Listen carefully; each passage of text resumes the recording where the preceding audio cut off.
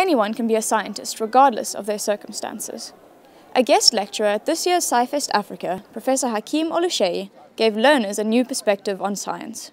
Growing up in the ghettos in Mississippi, Oluseyi chose reading science indoors over the violent outdoors.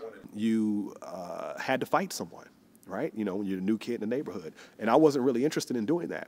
His humble background drove him to get involved in many science education programs in sub Saharan Africa.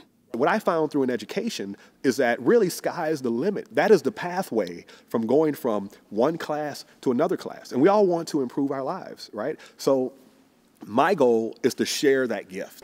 Learners at the lecture learned about the universe and were given the chance to interact with Oluseyi. It sh shows that it doesn't matter if you come from the poorest background or the richest background. If you set your mind on something, you can achieve it.